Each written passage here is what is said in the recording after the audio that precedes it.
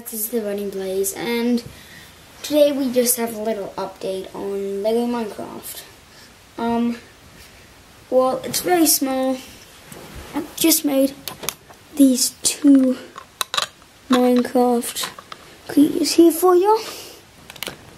Um, so, yeah, as you can see, it's a creeper and a tamed wolf.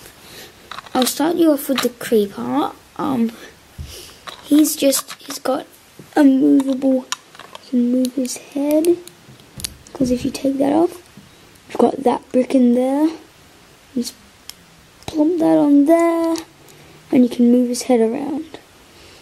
So yeah, that's pretty much the creeper, and then, got this dog guy, which is tamed, I I've got more of these bricks, tail bricks, so I could make them untamed or tamed.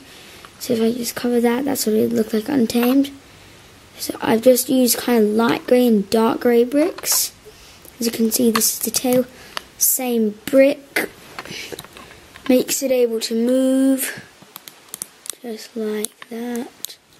Um, it's got some of these tile, slanted tile bricks for um. His head can move too because it's got that brick. Um, there, I could have just gotten a red, just one of those normal red tile bricks, but that means his head wouldn't have been able to move. Then he's just got these legs. Um, I put some like smooth fur on. I might, instead of having this grey tail with studs, I might get a grey smooth tile brick for that.